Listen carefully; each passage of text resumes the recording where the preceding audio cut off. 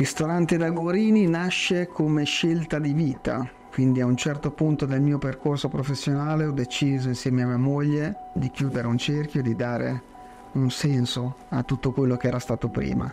Abbiamo fatto questa scelta nel 2017, abbiamo deciso di tornare a vivere a San Piero in Bagno. Conosco questa terra da tanti anni e qui ho trovato un luogo dove ho potuto apprezzare fino in fondo i valori veri della vita.